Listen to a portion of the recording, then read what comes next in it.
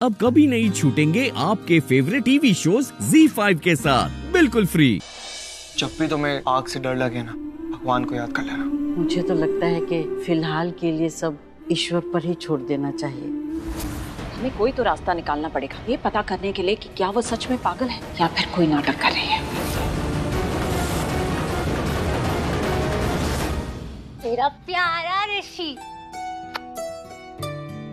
Don't you worry जो मैंने plan बनाया ना, उसकी तरफ़ ये पहला स्टेप है। और मेरी और ऋषि की शादी की तरफ़ मेरा पहला कदम। Z5 ऐप डाउनलोड करें और देखें सारे एपिसोड्स बिल्कुल फ्री